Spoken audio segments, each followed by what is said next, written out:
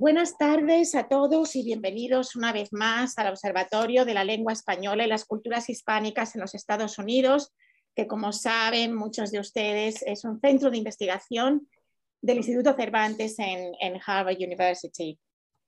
En 2010, la ONU declaró el 23 de abril Día del Idioma Español en las Naciones Unidas, dando así más relevancia a este día de primavera que ya conmemoraba el Día del Libro como tributo a su vez al más grande de los escritores en lengua española, Miguel de Cervantes, y también a, otros grandes escritores como el Inca Garcilaso de la Vega o en lengua inglesa William Shakespeare, todos ellos fallecidos el mismo año, 1616, y en torno al 22 y al 23 eh, de abril. El observatorio conmemora siempre en el jueves más cercano a este emblemático día, por eso lo hacemos hoy, el día 21, el papel de los libros o el valor de nuestro idioma, con conferencias relevantes sobre eh, uno de estos dos temas. Este año rendimos tributo a nuestra lengua en el contexto estadounidense, desde la perspectiva de unos hablantes muy importantes en el país en el que nos encontramos, cuyo uso y aprendizaje del idioma recibe afortunadamente y merecidamente cada vez más atención desde distintas disciplinas. Tenemos hoy la suerte de contar con un verdadero experto eh, desde el campo de la lingüística y de la didáctica, eh, Diego Pascual Cabo de la Universidad de Florida, a quien agradezco muy sinceramente que haya aceptado nuestra invitación para impartir esta conferencia y permitirnos así celebrar el, Día de la Lengua Española eh, de, esta, manera, ¿eh? rindiendo tributo no solo a la lengua española, sino hablando también de, la lengua española en Estados Unidos, en este contexto tan importante y por los hablantes de herencia. Así que muchísimas gracias, Diego. Y paso ahora mismo a presentárselo a todos ustedes, a presentar a nuestro conferenciante a todos ustedes. Diego Pascual y Cabo es Associate Professor of Hispanic Linguistics y director del Spanish Heritage Language Program en la Universidad de Florida. Su línea de investigación principal es el bilingüismo en, hablantes de, herencia, eh, tema que examina tanto desde un punto de vista teórico como aplicado, como práctico. Ha, publicado su, su investigación, sus trabajos en importantes revistas académicas de, estos campos como Applied Linguistics, Studies in Second Language Acquisition y Linguistic Approaches to Bilingualism, entre otras. Cuenta también con numerosos libros, tanto como autor como como editor. Voy a mencionar tan solo dos, por ejemplo, un libro de su autoría de, en 2016, Advances in Spanish as a Heritage Language, publicado por John Benjamins, o un, libro como coautor con, Torres, publicado más recientemente en 2021, Aproximaciones al estudio del español como lengua de herencia.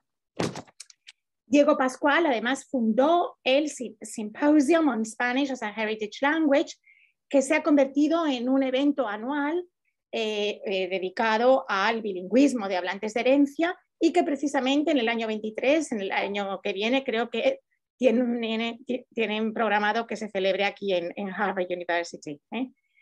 Eh, es también fundador y editor de la revista Spanish Heritage Language, que es una publicación académica eh, indexada y de, de carácter internacional.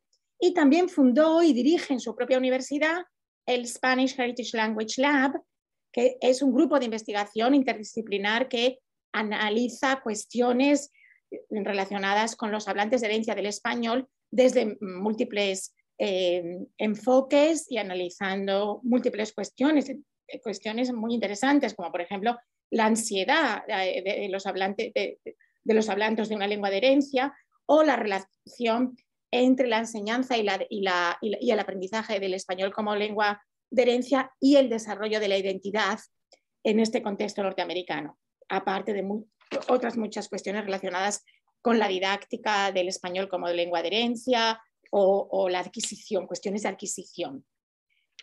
Por su labor investigadora, por su labor docente y por su labor en apoyo de, su comunidad, de la universidad, de la comunidad universitaria, eh, Diego ha recibido numerosos galardones. Voy a mencionar eh, solo unos, unos, dos o tres. Por ejemplo, eh, recientemente, en el 2021, recibió University of Florida College of Liberal Arts and Sciences Teaching Award.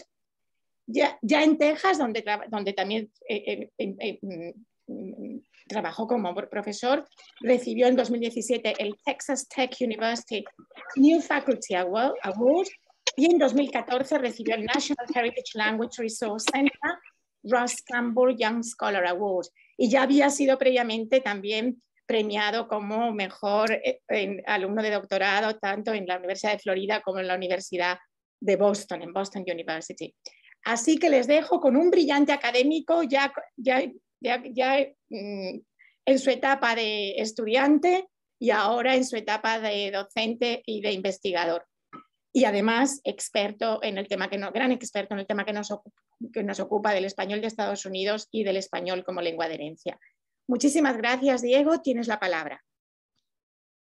Gracias, Marta. Bueno, menuda presentación. Eh, menuda presentación. Yo creo que ya si lo dejamos aquí quedó muy bien. porque corremos el riesgo de que después de la presentación que voy a dar, eh, no de la talla. Sí. voy a ver si puedo conseguir compartir mi PowerPoint, que parece que después de dos años estar trabajando en, en Zoom todavía tenemos dificultades. A ver. Muy bien. ¿Se ve?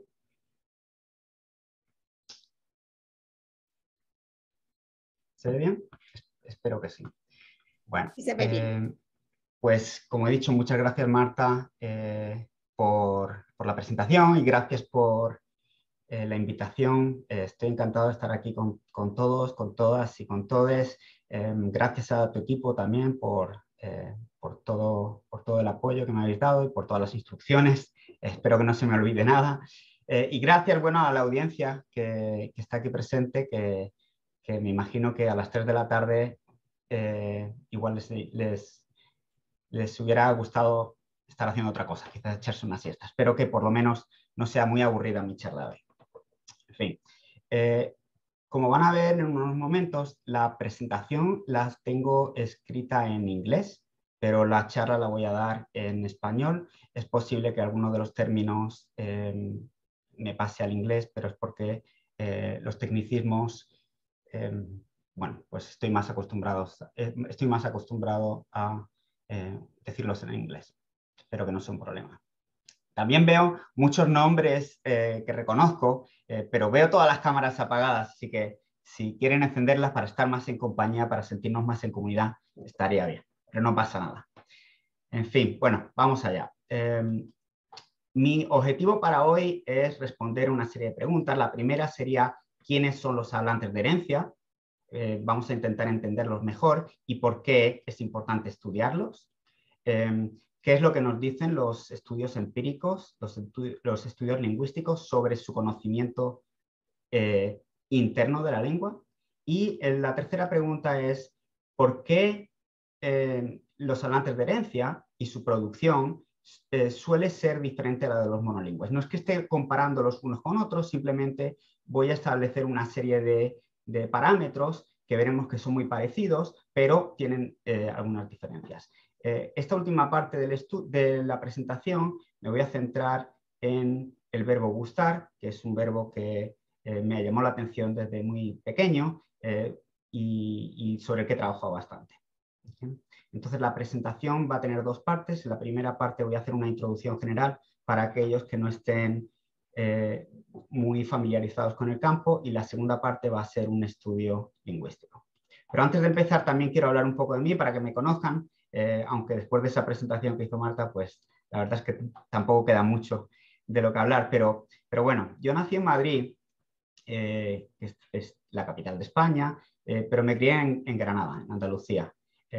mis padres, los dos, son valencianos, son eh, nacidos en Valencia y son catalanoparlantes y yo por lo tanto soy un hablante de herencia de catalán.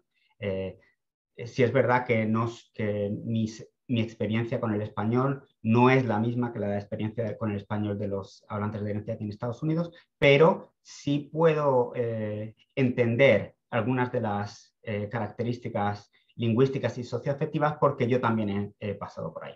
Además de eso, soy padre de mis dos hablantes de herencia favoritos, que son fuente de, de inspiración y de ejemplos continuos, ¿verdad? Em, también me he dado cuenta a lo largo del tiempo que cuantas más fotos enseño de mis hijos, eh, más, más le gusta a la gente mis presentaciones, así que aquí tienen dos más. Y ya para remate, eh, también he notado que cuando presento fotos de mis hijos y de perritos y de papis, bueno, pues ya les encanta a todo el mundo, pues aquí las tienen. Espero que por ahora eh, no haya ninguna queja. Vamos ya de lleno a la presentación y la primera pregunta que tengo es, bueno, ¿qué es una hablante herencia? Entendemos lo que es una hablante herencia y, si tuviéramos que describir eh, a una hablante herencia, yo creo que sobre todo su sistema lingüístico, yo creo que lo haría con la palabra heterogéneo. Heterogéneo porque eh, no hay dos que sean iguales. algunos van a tener una proficiencia mucho más alta, una van a poder comunicarse de manera productiva y otros van a tener vergüenza a la hora de hablar y van a, van a eh, simplemente evitar el uso. Eso no significa que no sean hablantes de herencia. Eh, eh, Masha Polinsky y Olga Kagan en el 2007 eh, describieron la definición desde dos puntos de vista, uno más amplio y otro más estrecho. El, el estrecho basado en proficiencia y el amplio basado en afiliación cultural. Y bueno, eh, no es que sea uno mejor que otro, simplemente va a depender de, las, eh, de los objetivos del, eh, lingüista en, ese momento. ¿no? Pero quizá la, definición más utilizada en, en, Estados Unidos para definir a, una hablante herencia es la de Guadalupe Valdés, que en el 2001 dijo que una hablante herencia o heritage speaker is an individual who is raised in a home where a non-English language is spoken who speaks or merely understands the heritage language and who is to some degree bilingual in English and the heritage language. Desde este punto de vista, hay que eh, enfatizar dos, dos eh, puntos. El primero es que exposición a la lengua de herencia ocurre desde, desde el principio, ¿verdad? Y de forma natural en la familia. Esto hace que los hablantes de herencia tengan que ser considerados eh, hablantes, de, hablantes nativos de la lengua de herencia. Quizá no todo el mundo esté de acuerdo en esto, pero desde mi punto de vista, estas dos características, early on and naturalistically, hacen que sean hablantes nativos de la lengua de herencia. Ahora bien, en el contexto de Estados Unidos, hemos visto que la, eh, la, población hispana ha crecido eh, muchísimo en los últimos años, con procedencia de, de, todas partes del mundo hispanoamericano, hispano, desde, desde México, Argentina, Perú, desde todas partes, ¿verdad? Y en cuanto a eh, el campo, como eh, apuntó Marta al principio, pues ha crecido mucho desde los 60, 70, cuando empezamos a trabajar en, este tema, pues eh, ha crecido en cuanto a la cuestión de conciencia, recursos, tenemos publicaciones, tenemos conferencias, tenemos grupos de interés, los libros eh, hoy en día hay, más recursos que nunca e incluso tenemos eh, la revista académica eh, de la que habló Marta antes también. Aún así, hay muchos prejuicios, muchos prejuicios en contra de los hablantes de herencia y en contra del bilingüismo en general. Es, un bilingüismo que es, que es malentendido, ¿no? ya sea tanto en la educación como en la familia o en la política. Hay mitos como que el bilingüismo no es lo normal, ¿verdad? Que al aprender dos lenguas de pequeño va a confundir a los niños, o que para ser bilingüe uno tiene que tener un conocimiento perfecto en cada una de las dos lenguas. Eh, otro, otro, de los mitos eh, muy extendidos es que los, los bilingües reales eh, no tienen acento en ninguna de las lenguas o que mezclar las lenguas es, un signo, es una señal de eh, de, vaguedad. En fin, eh, ¿qué ocurre con esto? Que la sociedad ha internalizado todos estos mitos y van pasando eh, de persona a persona, de generación en generación y llegan hasta nuestros hablantes de herencia que los, los, los vuelven a internalizar y hace que dejen de usar la lengua y que pasen a ser dominantes en la lengua, en la lengua de la sociedad y dejen de hablar español en este caso y bueno, lo que resulta en la pérdida de lengua. Entonces, si, si nos paramos a pensar en todo este contexto del que he hablado, tenemos que ver que, que los hablantes de herencia y la comunidad hispana en general en Estados Unidos es una sociedad muy importante y tiene es una comunidad muy importante y tiene una relación diferente con la lengua a la que podemos tener muchos de nosotros. Em, eh, les voy a mostrar un ejemplo de este tipo de relación. Em, en una de las clases que enseño, eh, les suelo preguntar a mis hablantes de herencia eh, que, que me indiquen cuál es la palabra que les viene a la cabeza cuando escuchan, eh, cuando se les pregunta por su relación con el español. Eh, ellos escriben las palabras, yo las recojo y las pongo en, una nube de palabras, ¿no? Y esto es lo que aparece. Eh, y como pueden ver, tenemos palabras como imperfect, family, lost, tradition, anxiety, broken, ni de aquí ni de allí. Es una relación especial, es una relación que les duele, es una relación que, que demuestra identidad, es una relación que, que va mucho más allá de la lengua.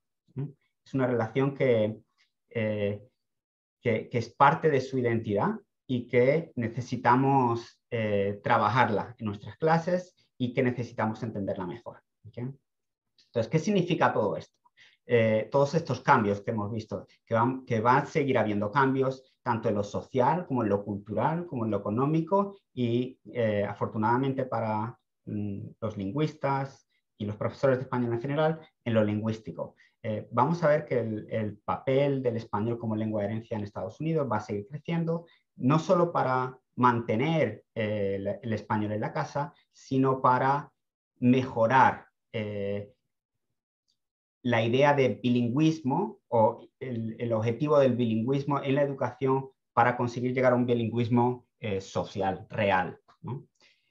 Em, desafortunadamente, algunas de las expresiones que se escuchan para describir en la calle, eh, no tanto en, la comunidad lingüística, eh, al, español de los hablantes de herencia, eh, incluye los gaps, lacking, spanglish incomplete.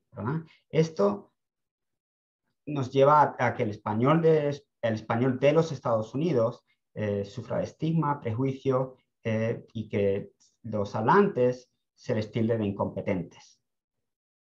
En cuanto a su perfil socioafectivo, eh, todo, esto, todo este contexto que estoy intentando eh, describir hace que el bilingüismo, el bilingüismo de los hablantes de herencia se vea y se entienda como un bilingüismo de, poco prestigio, eh, sobre todo si lo comparamos con el bilingüismo de élite, que sería el, bilingüismo de, de, los de los hablantes de, los aprendices de español como segunda lengua, los tradicionales, ¿no? que llegan a niveles similares a los de los hablantes de herencia.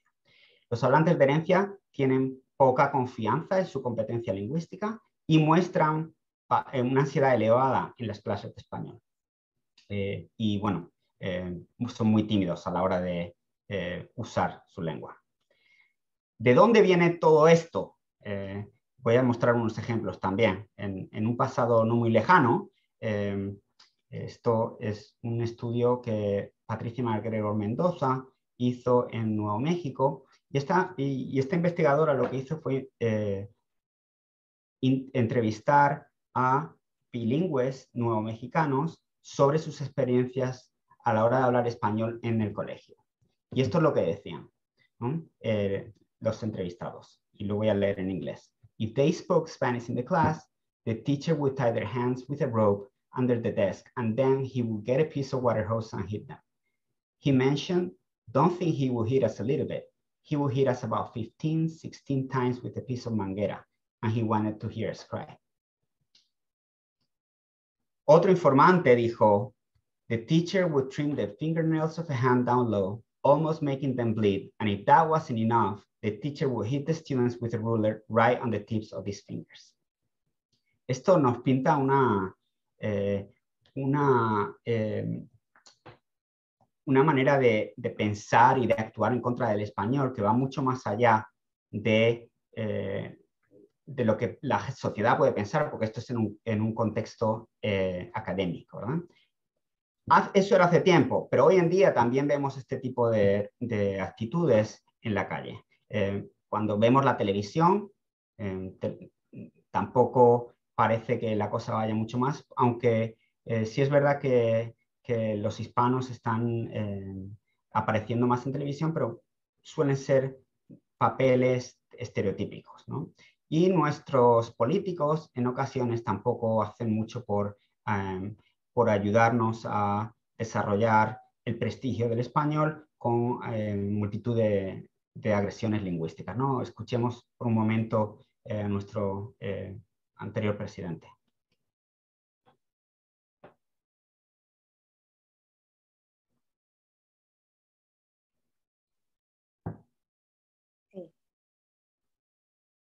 No se, no se oye. Eh, no se oye esto. Yo no lo oigo por lo menos. Bueno, eh, lo siento.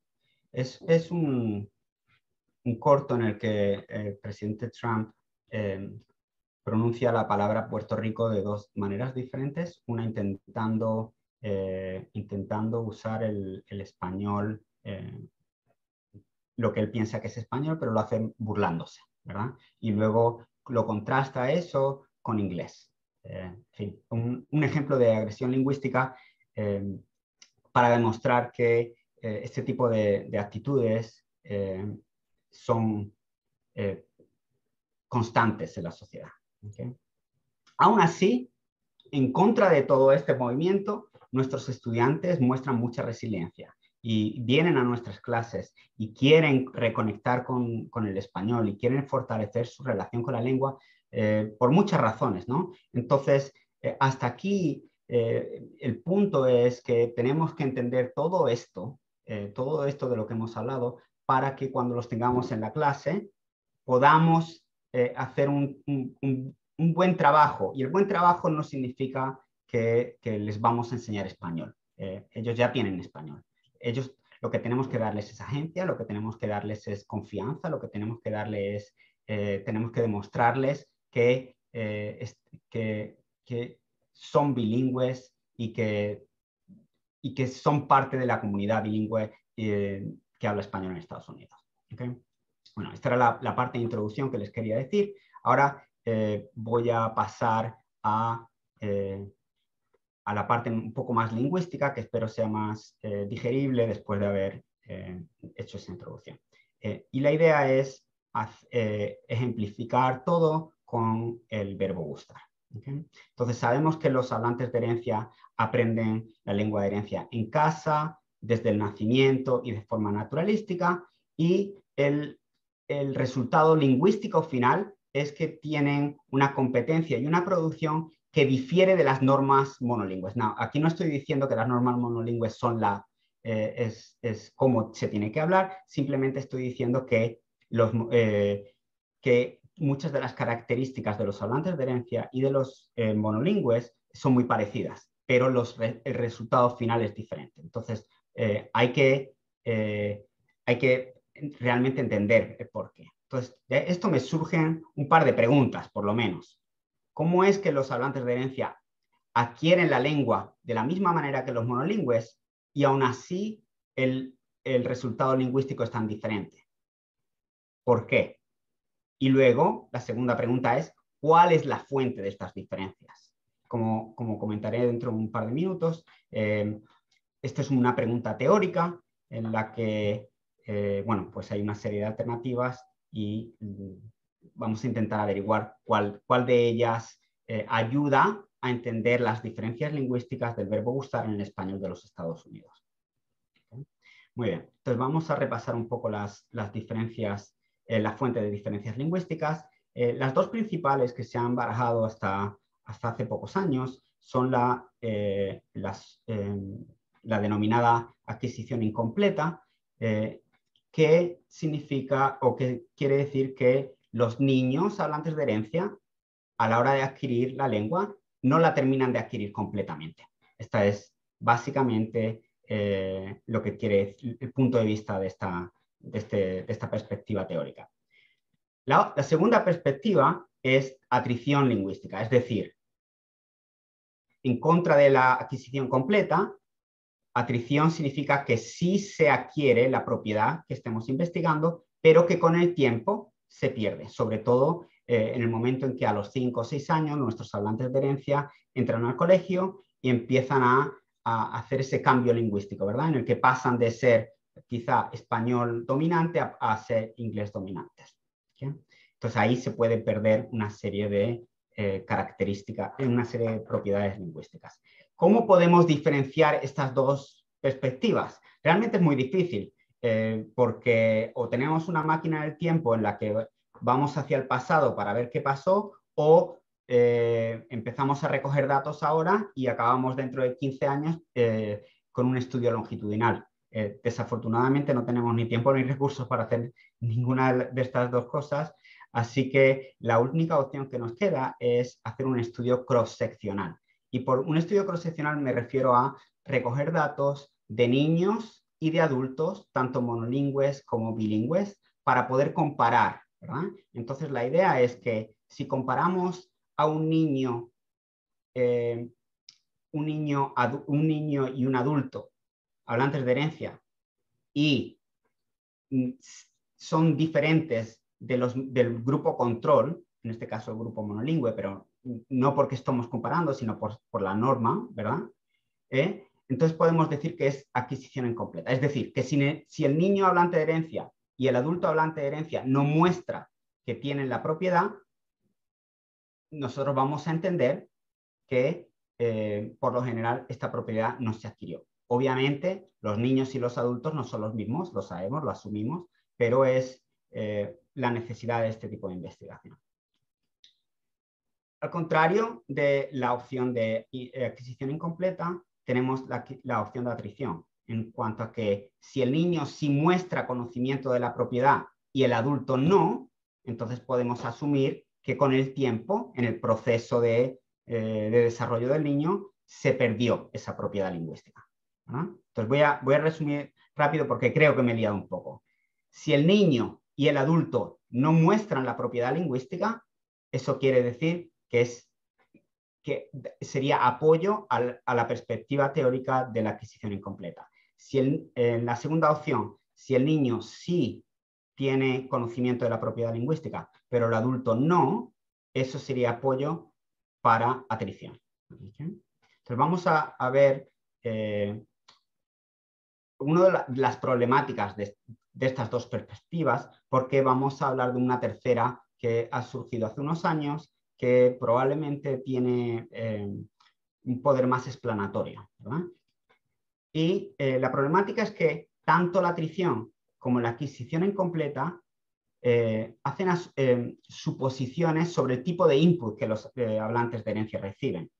Bueno, de hecho es que no, realmente no hablan del input. Suponen que el input que recibe un hablante de herencia es el mismo que puede recibir un hablante monolingüe en contexto monolingüe ya sea en, España, en, México, en Perú o en, Argentina.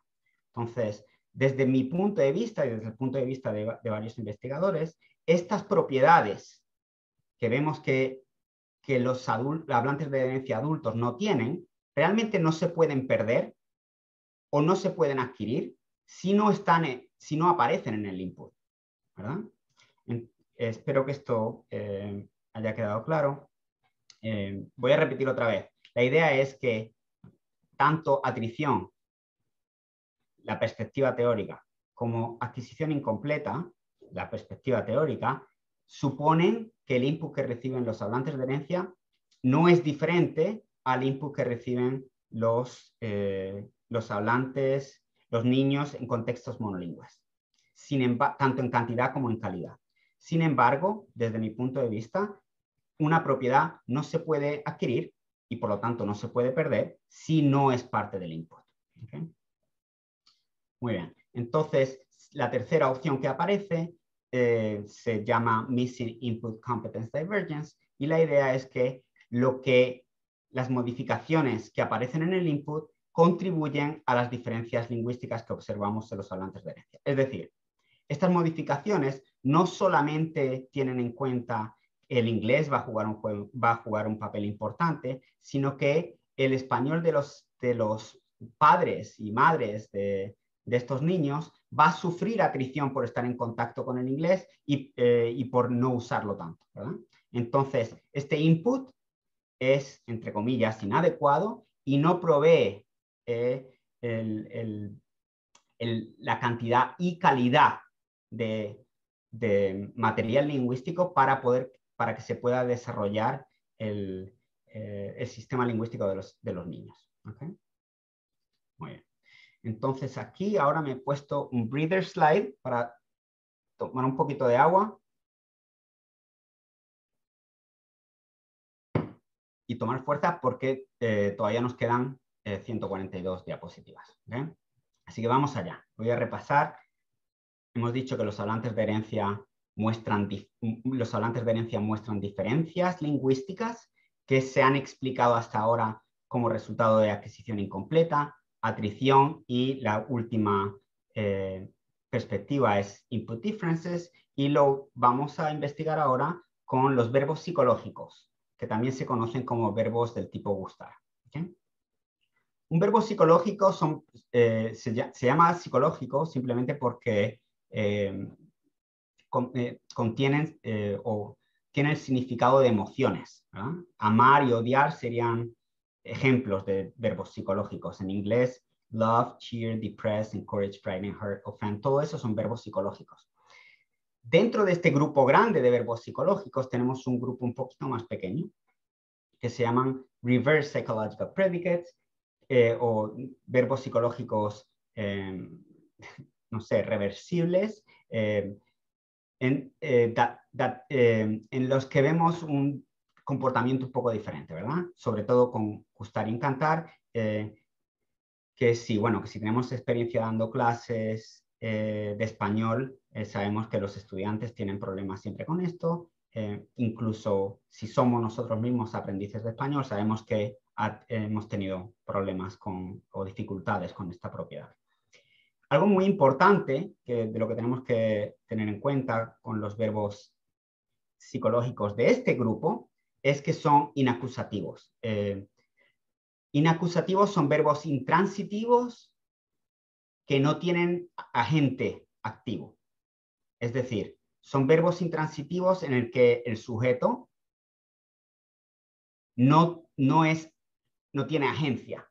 Entonces, por ejemplo, morir es un ejemplo de inacusativo. Gustar y encantar también, ¿verdad? Porque cuando nosotros comemos chocolate y nos gusta, no es que nosotros estemos haciéndole nada al chocolate, no estamos ejerciendo ningún tipo de acción al chocolate, simplemente, eh, bueno, pues experimentamos esa acción. De la misma manera que morir. Morir, cuando una persona muere, no está intentando morir de manera activa, eh, eso sería suicidarse, pero morir no, eh, no hay agencia. Vamos a ver cómo funcionan estos, estos verbos con el ejemplo siguiente. A nosotros nos gusta la lingüística. Vemos que este tipo de construcción eh, aparece o suele aparecer, digamos, mejor con un marcador dativo al principio que nos indica que lo que parecería un, un sustantivo con caso nominativo en función de sujeto realmente es el objeto que, que recibe el papel temático de experimentador. Es decir, nosotros no estamos haciéndole nada a la lingüística, nosotros estamos recibiendo, experimentando esta sensación, esta emoción. ¿ah? Para incluso indicar más que nosotros no es el sujeto de esta oración, tenemos otro, otro pronombre dativo de complemento indirecto, ¿verdad? Y tenemos lo que puede eh, parecer como un sándwich de dativos. Además de eso, tenemos ahora el verbo, que va conjugado con el sujeto, tercera persona singular, que recibe el papel temático de tema. Realmente este es el tema, aunque eh, semánticamente podemos pensar que nosotros lo es. Pero para, eh, para aclarar esto más, vamos a eh, ver tres tipos de verbos en español. El, verbo agentivo común, como comer, luego el verbo psicológico, grupo general, ¿verdad? Verbos que expresan emoción, como odiar, y luego este grupo más, mucho más pequeño, eh, en el que gustaría encantar son los, los, más importantes, ¿verdad? Vamos a ver eh, los verbos agentivos primero. Tenemos una oración como nosotros comemos la pizza, primera persona del plural, que es sujeto, que conjuga, eh, concuerda con el verbo comer, primera persona del plural, y luego tenemos el objeto, eh, que es la pizza. Muy bien, por ahora sin problema. Vamos a ver eh, cómo funciona odiar, que recordemos, es un verbo psicológico, pero no es un verbo de este grupo reverso, ¿verdad? Tenemos primera persona del singular, sujeto, odiamos, eh, sujeto, digo, perdón, primera persona del plural que concuerda con el sujeto y después tenemos la pizza. Entonces, como, y vamos a ver el tercer grupo, que es a nosotros nos gusta la pizza. Como hemos dicho antes, tenemos el marcador dativo al principio de la oración, que nos indica que este nosotros no es el sujeto eh, estructural, sino el semántico, con nos, otro dativo, y el verbo no concuerda con nosotros, sino con la pizza. Esto queda mucho más claro cuando pasamos las oraciones al plural. No hay cambio realmente cuando ponemos las pizzas en plural, vemos que el, sujeto y el verbo no cambian, nosotros comemos. Con odiar pasa lo mismo, si ponemos las pizzas en plural, odiamos sigue concordando con nosotros. Sin embargo, si ponemos las pizzas en plural eh, delante de un verbo como gustar, el verbo tiene que cambiar también para mostrar esa concordancia, sin embargo, nosotros no cambian, ¿verdad? Entonces, estos son los tres tipos de verbos con los que voy a, eh, los tres tipos de verbos que voy a manipular en, una serie de experimentos de los que voy a hablar en un momento para intentar entender cómo es que funciona el verbo gustar en el español de Estados Unidos entre estos hablantes de herencia. Espero que eh, no haya muchas preguntas hasta ahora. Para ello voy a usar la descripción teórica seminal de los profesores Belletti y Rizzi, que en 1988 establecieron que había tres tipos de clases de verbos psicológicos. La primera clase eran del tipo preocupar, la segunda clase eran del tipo asustar y la tercera clase del tipo gustar. Lo importante aquí es lo siguiente. Como hemos dicho antes, gustar es un verbo inacusativo, no agentivo, y no puede cambiarse nunca. Realmente, eh, con el significado de to like, no podemos hacer que el verbo sea agentivo, en el español estándar por lo menos. Sin embargo, con verbos como asustar, puede haber, puede, puede alternar, es algo híbrido, ¿verdad? En ocasiones puede ser agentivo y en otras ocasiones no. Por ejemplo, eh, si yo voy andando por la calle y eh, María Luisa me ve, ella se puede asustar sin que yo la haya visto a ella y sin que yo haya hecho nada. Entonces, en ese caso, sería eh, un, sentido no agentivo. Sin embargo, yo puedo estar esperando detrás de un árbol y cuando la veo llegar, yo intento asustarla. En ese caso sería un, eh, sentido agentivo. Espero que haya quedado claro, porque esta diferencia va a ser muy importante a la hora de la manipulación de verbos. Repito, el verbo asustar es híbrido, en el sentido de que podemos utilizarlo en dos sentidos. De una manera agentiva, en la que, la que queremos asustar, de una manera no agentiva, en la que alguien se asusta por verme, simplemente. Sin embargo, el verbo gustar solo puede funcionar, según estos eh, lingüistas, de manera no agentiva. No hay posibilidad de que el verbo gustar eh, se utilice de manera agentiva. En cuanto a estudios previos de esta propiedad, lo que se ha eh, encontrado hasta ahora es una eh, gran inestabilidad en la que se aceptan, en la que hablantes de herencia aceptan, producen una serie de, gramática, de propiedades que en ocasiones son, corresponden con la, con la, norma estándar y en ocasiones no. Sobre lo que solemos ver es que ese sustantivo que aparece entre los eh, marcadores dativos suele controlar la concordancia verbal. Esa es una de las características que solemos ver. También solemos ver que hay un uso invariable del pronombre dativo, el que va detrás de ese sustantivo experimentador, en el que es invariable y da igual si, eh, si el sustantivo es eh, singular, plural, o lo que sea. El verbo también eh, se ha mostrado de manera invariable, ya sea el tema singular o plural. Esto sería, eh, voy a mostrar un par de ejemplos ahora que creo que quedará más, más claro. Entonces, lo que se ha encontrado hasta ahora son cosas como yo gusto la pizza, para querer decir a mí me gusta la pizza, ellos gustan las galletas, a ellos les gustan las galletas, yo me gustan los carros deportivos, aquí observamos ese gusta invariable, aunque el, tema es plural. Eh, también vemos que aquí eh, hay ausencia de los marcadores dativos, igual que aquí, tú te gustan los poemas de amor, o nosotros gustamos Florida. Vemos que este, este eh, elemento, elemento inicial toma el papel de, de, sujeto, en el que entonces el verbo tiene que concordar con nosotros y el tema queda como objeto directo. Eh, obviamente estos son usos que se escuchan, que leemos y que, y que se usan a diario, eh, van en contra de la norma. Eh, con este estudio yo no estoy intentando decir que, que la norma es, es como hay que hablar, estoy simplemente intentando entender por qué. Las preguntas de investigación mías son las siguientes. ¿Cómo es que gustar se utiliza de esta manera? ¿Ha habido un reanálisis?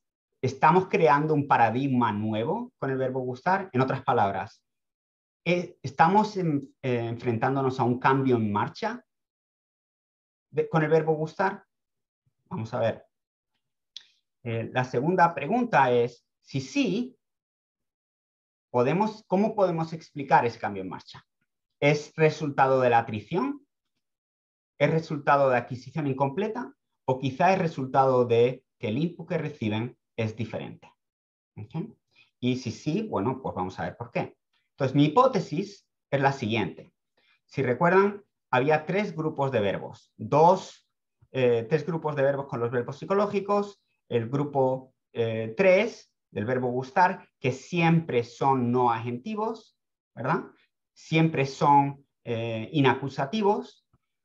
Y, y, luego tenemos los del grupo 2 como asustar, ¿verdad? Que dijimos que alternaban, que eran híbridos, que a veces pueden funcionar como un grupo agentivo y a veces como un grupo no agentivo, ¿verdad? Entonces, si este es el caso, mi hipótesis es la siguiente, que estos dos grupos, de hecho, se están uniendo y están creando un solo grupo en el que gustar está adquiriendo esta hibridez del verbo asustar.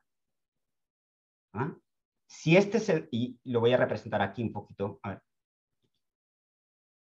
Oh, no me ha funcionado. Bueno, tenemos gustar, que es un subgrupo eh, de asustar, ¿verdad? Y la idea es que los dos eh, se pasan a formar parte a un grupo un poquito más grande. Si, es, si, si mi hipótesis es correcta, lo que va a ocurrir es, tiene que ocurrir varias cosas. La primera es que, de la misma manera que yo puedo decir yo asusto, tú asustas, él asusta, con, la, con, con el sentido agentivo del verbo asustar, porque era híbrido, eso mismo va a tener que, que pasar con el verbo gustar, porque no habría, no habría eh, excepciones. Entonces, yo puedo decir yo asusto, pues de esa misma manera tengo que ser capaz de decir yo gusto. Con esa lectura agentiva, ¿verdad? El verbo asustar puede aparecer en pasivas. Pau fue asustado por Teo. Aquí no habría ningún problema, ¿verdad? Esto debe ser gramatical para todo el mundo. Sin embargo, gustar, por ser inacusativo, no puede pasivizarse. Sin embargo, si el verbo gustar adquiere las mismas propiedades que el verbo asustar, entonces esto debería ser posible también. El poema fue gustado por Lori. Esta es la base del primer experimento que voy a mostrarles en un momento. La metodología es la siguiente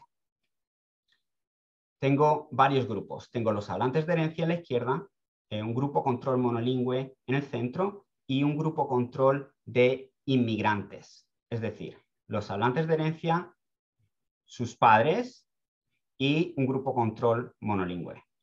Dentro de los hablantes de herencia tengo dos grupos de adultos, avanzados e intermedios, según la proficiencia, y un grupo de niños. Porque recuerden que la idea que para ser capaz de, eh, para ser capaz de distinguir entre adquisición incompleta y eh, atrición, tengo que comparar de niños a adultos. Lo mismo con los, con los monolingües. Tengo niños y tengo adultos. Y luego, para poder comparar el, el input que reciben los hablantes de herencia, pues necesito los input providers, que esos son los padres de los niños.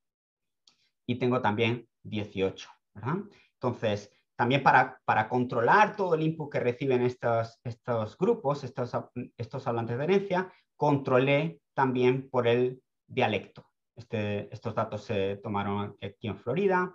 Por, Florida, el grupo principal hispano es el, el cubano, cubano-americano. Entonces, eh, todos mis participantes, incluso los monolingües, son, son cubanos porque recogí los datos en Cuba. Muy bien. Eh, el estudio entero tiene cuatro, eh, cuatro, experimentos, pero aquí hoy solo voy a hablar de dos. un Grammaticality Judgment Task y un Elicited Production Task, o sea, un, un, experimento de comprensión y un experimento de producción em, que, yo creo que va a ser suficiente para demostrar, eh, bueno, para, para ver si mis hipótesis están en lo correcto o no. Para evitar eh, que, bueno, que los efectos que observamos sean resultado de la, de, la alfabetización de estos niños eh, y no o de la falta de alfabetización de la falta de alfabetización, eh, los, los, materiales se mostraron de manera visual. Muy bien, vamos a ver ese Grammaticality Judgment que para los que no estén familiarizados con, este, este tipo de experimento, realmente es em, los, participantes reciben oraciones, en, en, este caso en español, y tienen que juzgar ah, esto me suena bien o esto me suena mal o esto me suena mejor o esto me suena peor, ¿verdad? Entonces, tenemos 40 oraciones en las que 20 eran eh, ítems críticos y 20 eran distractores y le pedí que eh, juzgaran esas oraciones del 1 al 4. 1 si les sonaba horrible y 4 si les sonaba normal sin ningún problema. Y si no sabían o no querían contestar, un 0. ¿De acuerdo? había cuatro tipos de oraciones aquí. Pasivas con verbos transitivos, pasivas con verbos inacusativos, pasivas con verbos como gustar y pasivas con verbos como asustar. Entonces, si hemos prestado atención antes, deberíamos saber que las pasivas con verbos transitivos sí son posibles, ¿verdad? Sin embargo, las pasivas con verbos inacusativos no deberían ser posibles porque no hay sujeto agente. De la misma manera, los verbos gustar, como son inacusativos según la norma estándar, no deberían ser eh, posibles que los pasivicemos, pero los verbos como asustar sí porque tienen opcionalidad. Entonces, estos son los resultados que se esperan de un grupo control si, si van a seguir la norma estándar, ¿verdad? Y según los resultados que observemos con los hablantes de herencia, pues vamos a ver si realmente eh, los hablantes de herencia han, eh, los verbos como gustar en el sistema lingüístico de los hablantes de herencia han adquirido las propiedades del verbo como asustar. Voy a mostrar un par de ejemplos aquí. Un verbo como escribir, que es un verbo transitivo, digo, el poema fue escrito por Lori, lo he pasivizado, y esa oración debe ser completamente correcta eh, eh, y no hay ningún problema, ¿verdad? Sin embargo, un verbo inacusativo, recordemos que un verbo inacusativo es un verbo intransitivo en el que no hay agente, mi padre fue llegado a casa, no puede, eh, no puede funcionar y deben rechazar esa oración, ¿verdad? El verbo, el verbo como gustar, en principio no hay ninguna diferencia con este grupo, con este con este grupo de verbos sin acusativo y debería ser también rechazado, la tarta fue gustada por Ana. Y el grupo 2, Carlos fue asustado por Pedro, no debe haber ningún problema porque en este caso lo que hacemos es eh, acceder al verbo a través de la lectura agentiva. ¿Verdad? Ah, no sé si hay algún problema, eh, si alguien, porque esto es importante a la hora de entender, ¿alguien tiene alguna pregunta? Y así aprovecho y, hago, bebo un poquito de agua. Muy bien. Entonces vamos a seguir. Vamos a, ver los resultados. Primero vamos a ver lo que hacen los niños. Y tenemos, aquí abajo tenemos los niños hablantes de herencia y los niños eh, monolingües. Eh, perdón que esto se ha debido mover un poco. Aquí vemos la escala, en la izquierda la escala 1, 2, 3 y 4, que es la escala eh, del, del, experimento. 1 es rechazado total, 4 es aceptado total sin ningún problema y vemos que son los verbos transitivos. Bueno, voy a abrir esto porque no se, eh, no se veía bien. Con los verbos transitivos vemos que los hablantes de herencia niños aceptan eh, a, 3, ¿verdad? Sin embargo, los hablantes de herencia, los hablantes monolingües, niños también, eh, lo aceptan mucho más. Se, se comportan de manera que va en línea con lo que se esperaría. Me olvidó decir antes que estos niños eh, tenían seis años, tanto en el grupo de hablantes de herencia como en el grupo monolingüe. Los hablantes de herencia, eh, los datos se recogieron en, Miami y los hablantes eh, monolingües en, en La Habana, Cuba. Muy bien, si comparamos los juicios gramaticales de un verbo transitivo, de una pasiva con verbo transitivo a una pasiva con verbo intransitivo, vemos que hay una diferencia importante en los dos grupos. Los dos grupos lo rechazan. Si ¿Verdad? Si comparamos transitivos con intransitivos, vemos que las columnas rojas que corresponden con los hablantes de herencia eh, rechazan y la columna negra rechaza también. Claramente, el rechazo es mucho más significativo eh, entre los hablantes monolingües pero eh, la tendencia de los hablantes de herencia también es, la misma. Vamos con el verbo gustar, pasivas con el verbo gustar. ¿Qué ocurre? Que aquí vemos eh, una tendencia a aceptarlo. No llegan al 3, como casi llegaban con los, verbos transitivos, pero sobrepasa el 221, que era como tenían el, con los verbos intransitivos. Crucial es la diferencia entre, estas, entre, dos, eh, estos dos grupos de verbos, ¿verdad? Porque vemos que tanto los monolingües aceptan más las pasivas con gustar que las pasivas con verbos intransitivos, como los hablantes de herencia. Vemos también que los niños, los dos grupos, aceptan las pasivas con el verbo asustar prácticamente de la misma manera que los verbos transitivos, porque realmente, si, volvemos a la, a la descripción teórica, dijimos que el verbo asustar puede funcionar de manera agentiva, por lo tanto se puede pasivizar. Lo interesante está aquí en el centro, en estos dos grupos, y vemos que gustar para los dos grupos es eh, aceptado de manera superior a los verbos intransitivos. ¿Qué significa esto? Que los dos grupos aceptan pasivas y realmente no podemos explicar nada todavía. Para eso tenemos que comparar los resultados de los niños con los de los adultos. Y vamos a, ver, eh, en este caso, en vez de todos los grupos juntos, como son demasiados, vamos a hacerlo en general. Tenemos a eh, los verbos transitivos, la misma escala, 1, 2, 3, 4. Aquí tenemos los hablantes de herencia a nivel intermedio, en a la izquierda, luego tenemos hablantes de herencia a nivel avanzado. Luego tenemos a los eh, attritioners, ¿verdad? Aquellos son los inmigrantes. La AA son inmigrantes y los MA son monolingual adults, ¿verdad? Adultos atrición, monolingües eh, adultos. Y vemos cómo todos aceptan las pasivas con verbos transitivos de manera clara pero obviamente vemos que hay una diferencia también entre, entre grupos, pero aún así todos, todos aceptan.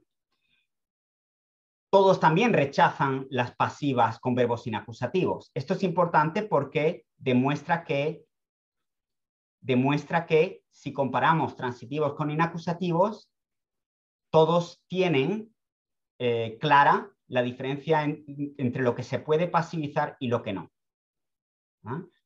En negro los verbos inacusativos como llegar, como morir. En rojo los verbos eh, transitivos como comprar, como escribir, como comer. Entonces, esto muestra que tanto los hablantes de herencia adultos como los eh, inmigrantes adultos, como los monolingües adultos, tienen clara la distinción entre verbos transitivos y verbos inacusativos. Es más, si vamos a ver las respuestas individuales de cada uno de estos ítems, vemos eh, arriba que los eh, hablantes de herencia para los verbos inacusativos casi todos están entre el 1 y el 2. ¿Lo veis? En la izquierda, los hablantes de herencia a nivel avanzado, cada circulito corresponde a un ítem. En el centro tenemos a los hablantes de herencia, están un poco más indeterminados porque, bueno, pues porque su proficiencia es un poco más baja, pero están rechazando todavía. Hay algunos que están en el 3, pero la gran mayoría está en el 2, que recordemos 2 es rechazo. Todo esto comparado con el grupo control, vemos que, eh, hay una diferencia importante. Hay aquí un, outlier en el grupo control que da un 4, pero bueno, eh, simplemente es un outlier porque los otros ítems los juzga un 1. Abajo tenemos el mismo sistema de representación, eh, pero con pasivas con verbos transitivos, es decir, lo que sí se puede pasivizar con un verbo como comprar. Los hablantes de herencia a nivel avanzado aceptan con un 3 y un 4, los hablantes de herencia a nivel intermedio aceptan también con un 3 y un 4, un poquito más de indeterminación, pero no significativa, y el grupo control acepta mayoritariamente con un 4, eh, con, algunos, con algunos 3. O sea, de nuevo, aceptan lo que tienen que aceptar y rechazan lo que tienen que rechazar. Vamos a ir a los verbos psicológicos del grupo 2, es decir, como el verbo asustar.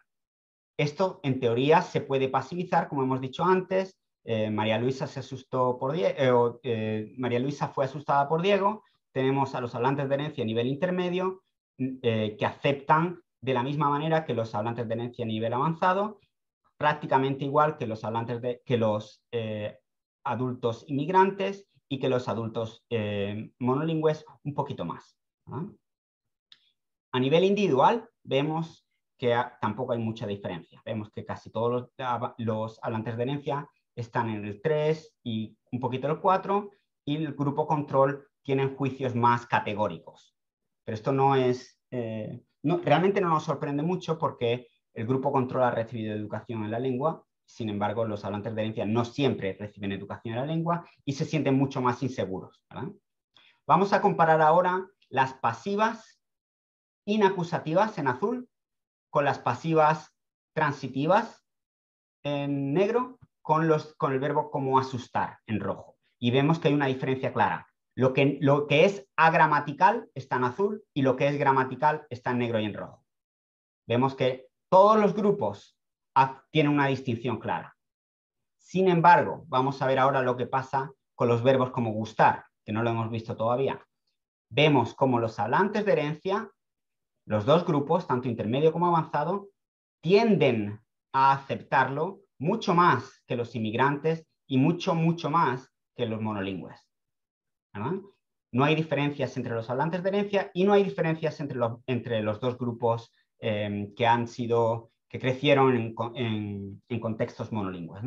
Entonces, esto es importante porque, bueno, porque vemos que estos dos grupos se comportan de manera diferente que estos dos. Para, e, para los hablantes de herencia, el verbo gustar es diferente. Todavía no sabemos cómo es diferente, pero es diferente. Volvemos a hacer esa misma comparación, perdón que esto se ha movido un poquito, entre lo que es posible y lo que no es posible. En teoría, negro aquí es imposible, es agramatical. Rojo es gramatical. Y el azul es con lo que estamos jugando. Es decir, el azul en teoría también es agramatical.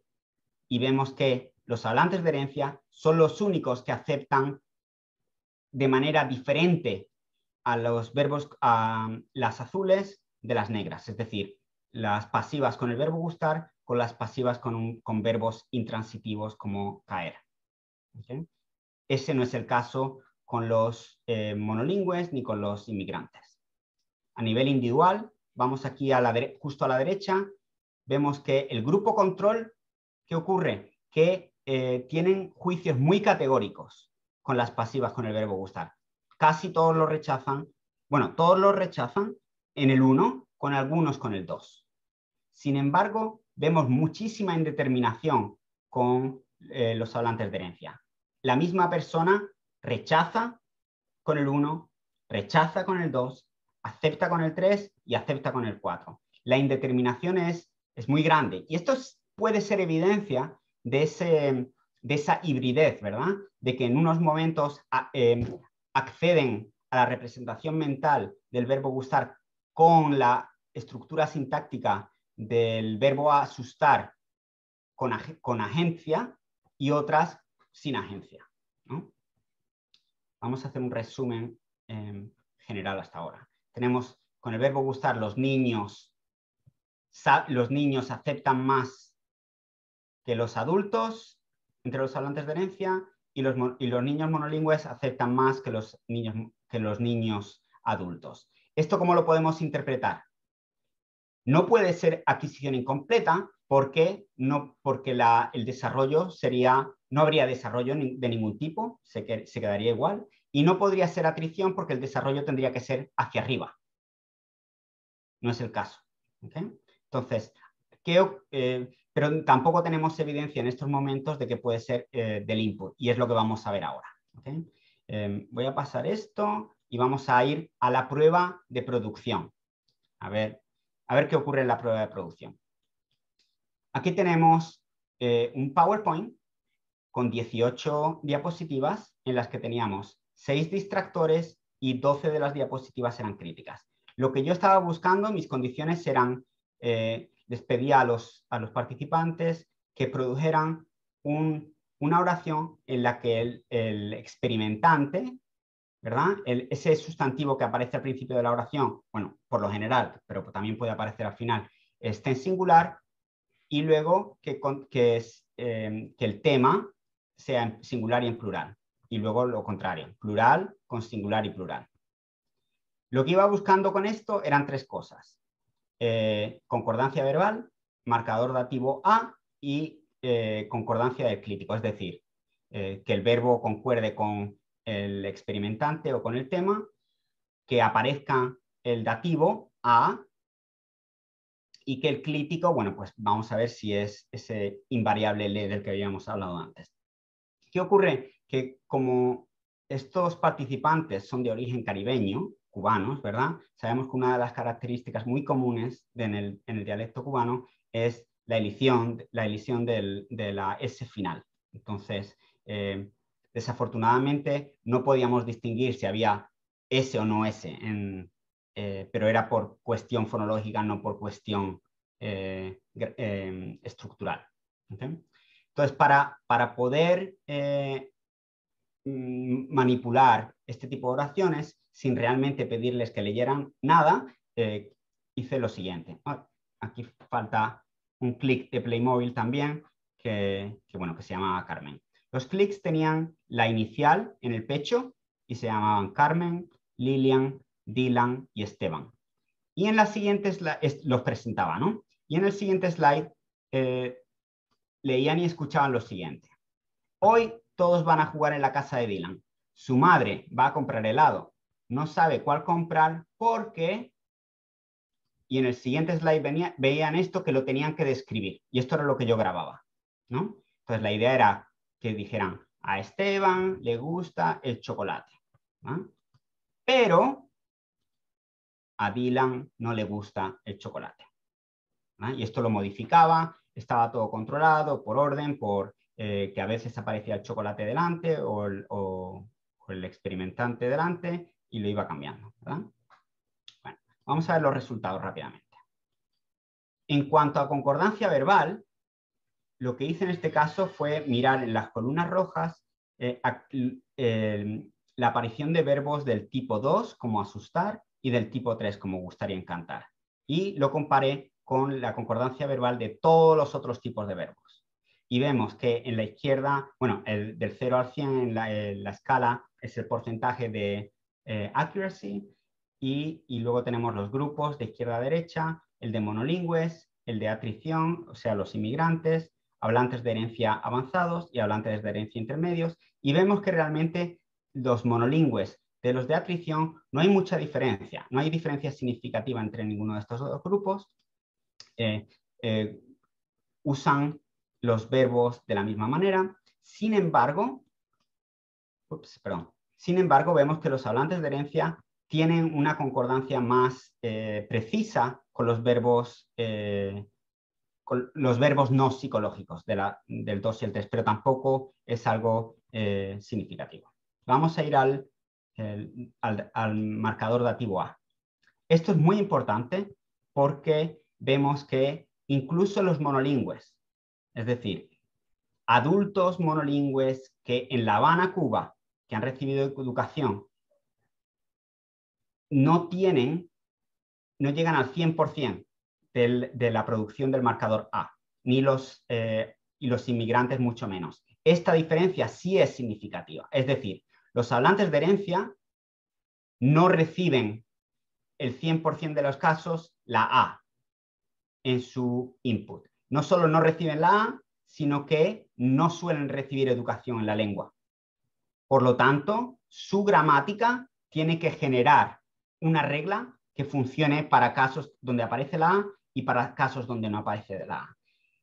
En el caso de que no aparece la A, la única explicación o la, una buena alternativa es pensar que ese sustantivo que aparece al principio sea nominativo.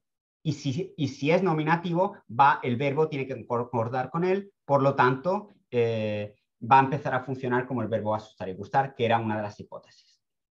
Ya vamos a, terminar casi. Entonces, la discusión. Vemos que no hay diferencias eh, significativas en la, producción de la concordancia del verbo. En la ausencia del verbo del marcador dativo, estoy en el segundo punto, los hablantes de herencia no pueden hacer otra cosa más que reanalizar ese argumento inicial, ese papel eh, temático inicial, como nominativo, por lo tanto se convierte en sujeto y por lo tanto el verbo tiene que concordar con él. Como dijimos antes, la atrición y la, adquisición incompleta no puede explicar estos resultados, por lo tanto, la única alternativa que queda posible, no estoy diciendo que sea la, la, que es, pero es la única posible, es la del input. El input que reciben los hablantes de herencia es diferente. Como el input es diferente, no podemos esperar que ellos eh, utilicen el verbo gustar de la misma manera que se utiliza eh, en, en contextos monolingües es una expectativa eh, imposible de, realizar. Entonces vamos a las preguntas de investigación. Em, ¿Se han reanalizado los verbos gustar en el español de, los Estados Unidos de los hablantes de herencia? Y parece que sí. Parece que los hablantes de herencia aceptan pasivas con gustar de la misma manera o en la tendencia de aceptar pasivas con verbos transitivos y parece que las, estas diferencias eh, solo pueden ser resultado de las diferencias en el input. ¿eh? No, es, em, eh, no es definitivo, pero es la única alternativa posible en estos momentos. Entonces, para concluir, unos takeaways. los hablantes de herencia sí, es verdad, producen formas que a veces son estándar y a veces no son estándar. Esto no significa que no sepan cómo se utiliza el verbo gustar, lo que significa es que el verbo gustar para ellos es diferente. Mm, parece que nos encontramos eh, enfrente de un cambio en marcha, de la misma manera que ha habido otros muchos cambios en marcha, otros muchos cambios en la lengua española a lo largo de la historia, y este cambio ya aparece a nivel de representación mental.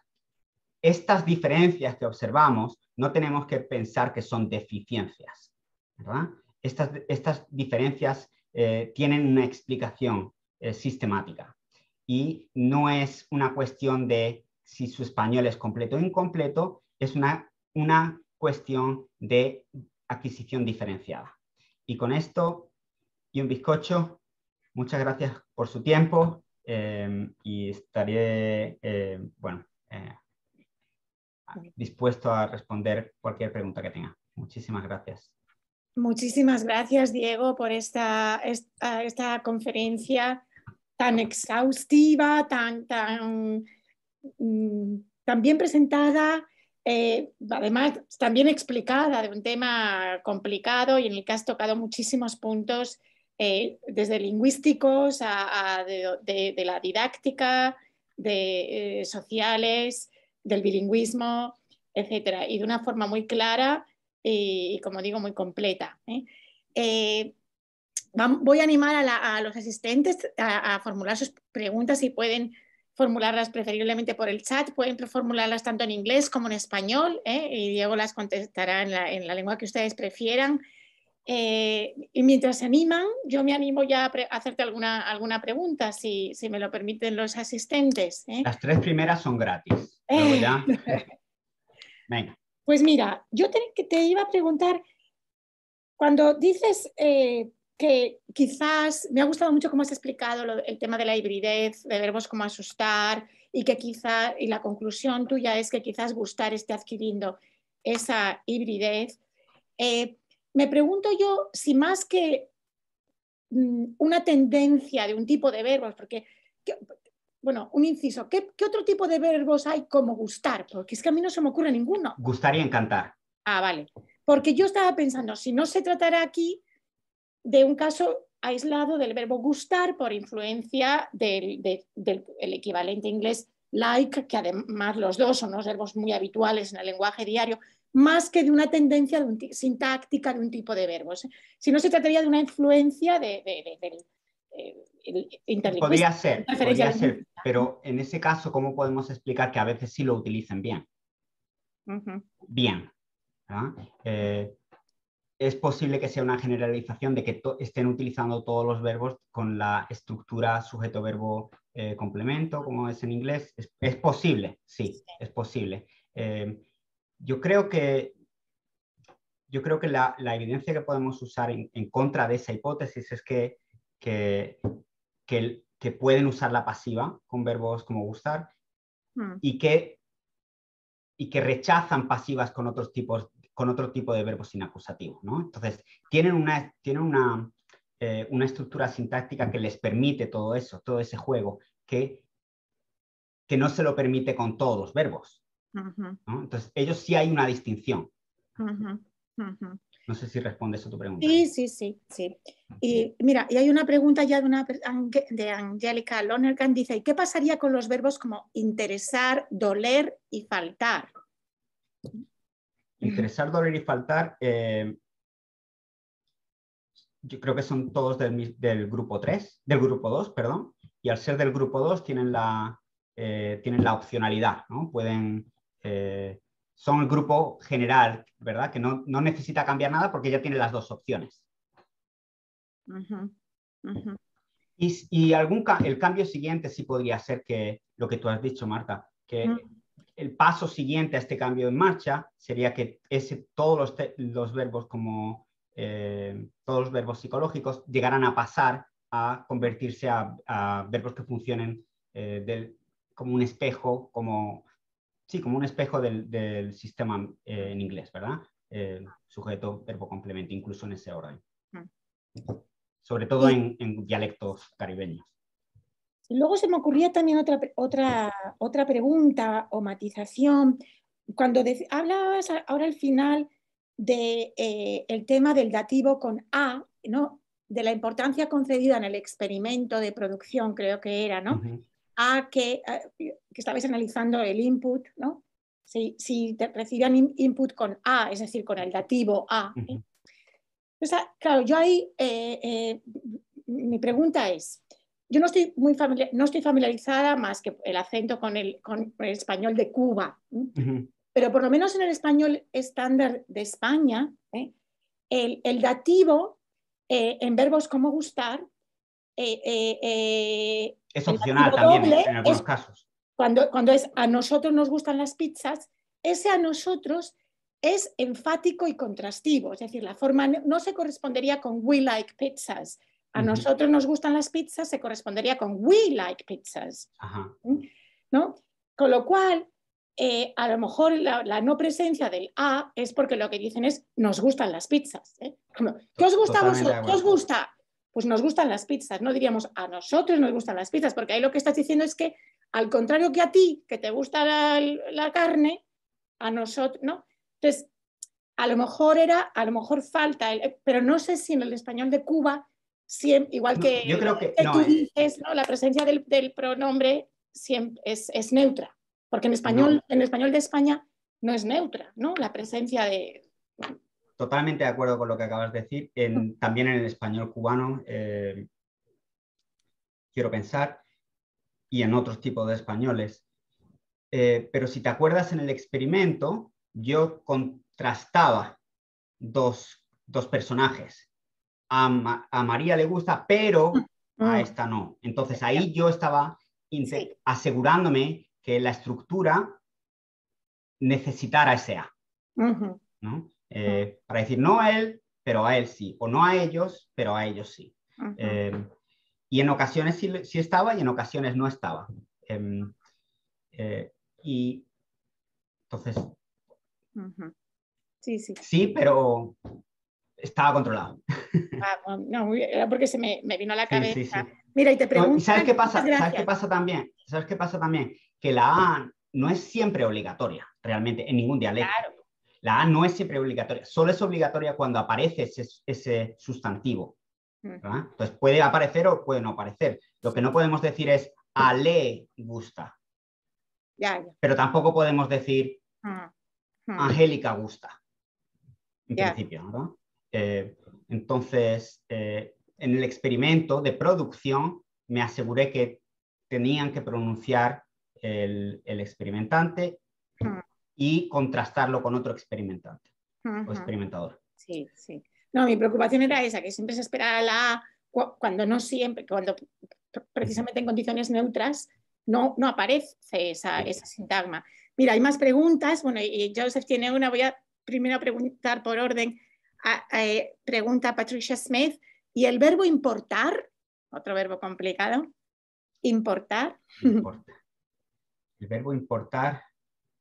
Eh, bueno, el verbo importar es más difícil todavía porque tiene varios significados, ¿no? Es el traer algo de otro país, ahí no, yo no sé lo que pasaría, pero el verbo importar de darle importancia a algo, pues creo que también es del, grupo 2, así que lo mismo que asustar, eh, creo, no, no sé. Tampoco estoy, puedo decir aquí qué va a pasar con cada verbo, pero sin haberlo estudiado. Mira, y Adrián Delgado te da las gracias por la presentación y dice, si concluimos que el input, más que la atrición y la adquisición incompleta, explica la falta del marcador dativo A, tal vez habrá que controlar en, función de la edad. ¿Crees que un hablante de herencia a una temprana edad, cuando aún no ha tenido mucha exposición al inglés, incluye los dativos en su producción oral? Bueno, es lo que intenté hacer con mis hablantes de herencia, con mis niños, ¿verdad? Porque los niños eran de 5 a 6 años eh, y más jóvenes, que era, es el momento en el que empiezan a ir al colegio.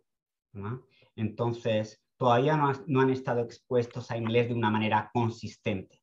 No estoy diciendo que no hayan estado expuestos nunca al inglés. Obviamente viven en Estados Unidos, escuchan la radio en el coche, van eh, de la televisión, eh, pero no están expuestos a inglés a todas horas, como si estuvieran en el colegio. Entonces, obvio, yo creo que un niño de 8 años va a tener una producción y, y, una representación un poco diferente de un niño de 4. Por eso, porque el niño de 8 ya está escolarizado y el niño de 4 o 5 todavía posiblemente no. Muy bien. Bueno, pues Joseph, tienes la palabra. Muchas gracias. De nada, gracias por la pregunta. la casa, ¿eh? Sí. Eh, muchas gracias, Diego, por esta presentación tan, em, tan excelente. Mi pregunta es cuando una persona quiere enfatizar algo que, le, que esa, a esa persona le gusta la cosa. Si yo le digo, por ejemplo, em, bueno, a, a, esa persona no le gusta, a esa persona sí le gusta. Em, entonces, estoy pensando, por ejemplo, yo cuando aprendía español siempre cometía el error de decir yo también, en vez de a mí también, cuando una persona decía, oh, a esta persona le gusta, oh, a mí también. Entonces, quería saber si tenías alguna idea de cómo una, una hablante de herencia respondería a esa pregunta o, o cómo añadir, añadiría esa, esa... Muy buena pregunta. Es muy buena pregunta porque creo que podría ser evidencia también ¿no? de, de, esta hibridez. Eh, si están utilizando una estructura nominativa, eh, entonces pueden decir yo también. ¿verdad? Como yo, tú comes pizza, yo también.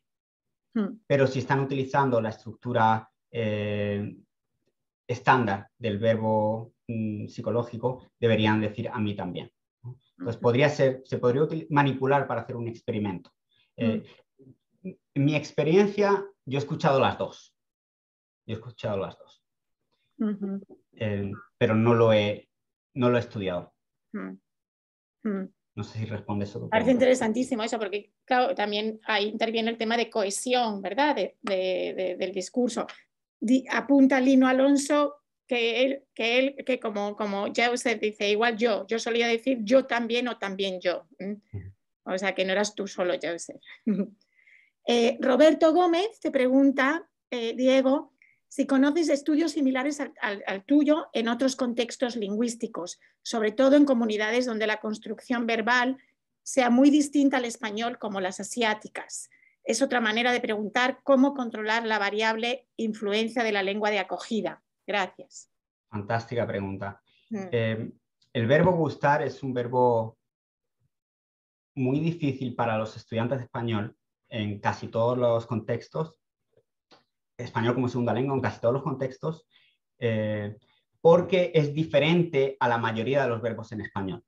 Es decir, eh, una gran cantidad, un gran porcentaje de verbos en español se, comporta de una manera y el verbo gustar y encantar, aunque son muy comunes y muy frecuentes, son muy pocos. Eh, y además tiene mucha flexibilidad. Como hemos dicho antes, a veces aparece la A, a veces no aparece la A. Con el experimentador el orden también puede cambiar, podemos decir a María le gusta la pizza o la pizza le gusta a María. Entonces hay mucha, esa flexibilidad, esa variación hace que sea difícil para el hablante de herencia. Obviamente, si eh, la lengua, la primera lengua, la lengua nativa de los, del que esté estudiando español, tiene, tiene, una, eh, tiene una propiedad similar, pues yo creo que puede ser más fácil eh, adquirir y usar el verbo gustar de manera estándar. En cuanto a las lenguas asiáticas, yo me imagino que debe haber estudios, yo no, no conozco ninguno, eh, pero sería, sería muy interesante, sobre todo porque eh, no tengo ni idea de cómo va a funcionar verbos del estilo de gustar, eh, este tipo de verbos psicológicos en, en, las lenguas asiáticas. No sé si alguien sabe, pero yo no. Mm. Por ahora no hay más preguntas, pues te hago yo otra. como has utilizado mucho la pasiva, eh, en, las construcciones para ver estas tendencias. Eh, em, se me ocurría si, habéis si os habéis planteado estudiar, por ejemplo, tendencias eh, de influencia del inglés, seguramente, en, en, construcciones pasivas que difieren entre el inglés y el español. Por ejemplo, estoy pensando, los verbos transitivos son pasivos en las dos lenguas, se pueden pasivizar en las dos lenguas pero pasivizamos distinto, porque por ejemplo en español solo pasivizamos, eh, ponemos el, eh, como sujeto el objeto directo, no el objeto indirecto, que en inglés es casi hasta más común. ¿eh? Por ejemplo, Paula was given a room with a view. en español nunca diríamos, Paula fue dada una habitación con vistas, ¿no? Entonces, a, lo mejor sería también interesante eh, analizar esas tendencias sintácticas que, que afectarían a, vermos, a muchos más verbos también, ¿no? sería sintáctico, ¿no? Eh, no sé si habéis estudiado algo así. Algo... No, yo no lo he estudiado. Eh, me imagino que debe haber estudios al respecto, pero en ese caso sí creo que sería, sería muy interesante. y ahí podríamos realmente decir que que es por una cuestión de contacto más que una, mm. cuestión de input, ¿verdad? Mm. Eh, porque eso no lo van a escuchar nunca en español. Pero sí lo van a escuchar en inglés y van a hacer como, como mm. va a haber influencia crosslingüística. muy interesante, pero yo no lo he estudiado. ¿no? bueno, pues es que hay tantísimas Otro, me lo apunto. claro. No sé si alguien quiere hacer alguna otra pregunta. Eh, no hay más preguntas, has estado muy bien acompañado. ¿eh? que me gustaría saludar, si me lo permiten, a la, a cónsul general del, Perú en Boston, que nos acompaña hoy, y también a, nuestra querida colega María Luisa Parra eh, de Harvard University, que siempre está con nosotros, nos hace, hace, organiza cursos tan estupendos y sé que es buena colega de Diego. También está Reyes Llopis, que también dio aquí una, una charla a través de, también de los seminarios de María Luisa y tantas otras personas que nos siguen habitualmente y que, y que sé con la que tienes mucha relación también con algunas de ellas, Diego. Has estado muy bien acompañado, expertos lingüistas y no tan expertos en lingüística. ¿eh? Eh, pues muchas gracias por, vuestra atención y espero no haberos aburrido mucho. Me hubiera gustado hacerlo en persona, pero quizá en el futuro. ¿Alguien, ¿Alguna oportunidad para alguna otra última pregunta o, o no? Ah, bueno, mira, pregunta Adrián Delgado. Diego, ¿podrías darnos el título de la investigación que citaste de MacGregor Mendoza? Eh, así de memoria yo no me acuerdo. Oh, aquí no se habla español. María Luisa, ¿tú te acuerdas? Aquí no se habla español, puede ser. Eh, no de memoria, pero lo busco enseguida. Y lo mando a... ¿Quién es? ¿Podemos su correo electrónico? Sí, te damos, eh, te lo damos, te lo... ¿eh? Adrián Delgado, sí. Bueno, pues muchísimas gracias, Diego. De verdad que ha sido fascinante, ¿eh? porque eh, es un tema muy complejo, porque tocas muchas cuestiones muy complejas y las has presentado de una manera amena, brillante, clara, por lo menos en mi opinión, y creo que en la de todos los asistentes. Así que muchísimas gracias y gracias a todos por, su presencia. ¿eh? Gracias.